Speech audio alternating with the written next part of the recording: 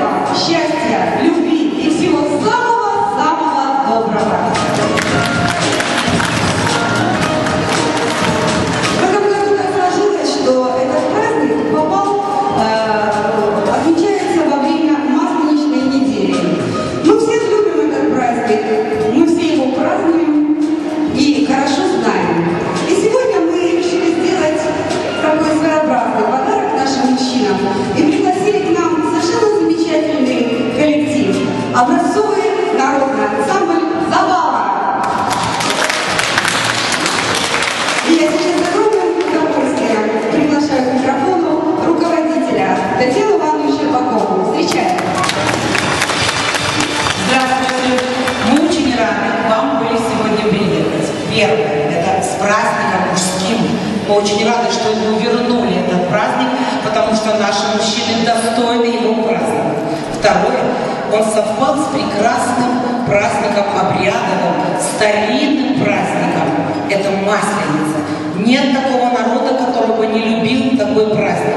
В каждом народе он празднуется по-своему. Но то, что все любят блины, то, что все любят озорство, то, что все любят красивый богатый стол, песни и танцы, это не отнять. Поэтому мы со своим ансамблем приехали с удовольствием и будем вас поздравлять и с Днем защитника Отечества и обязательно с широкой масленицей. Она еще называется маслина, еще называется маслина кривошейка, еще называется блинная масленица. Если бы я знала, что здесь будет столько много места, я бы еще взяла детей. Я их переполовинила, а тут столько места.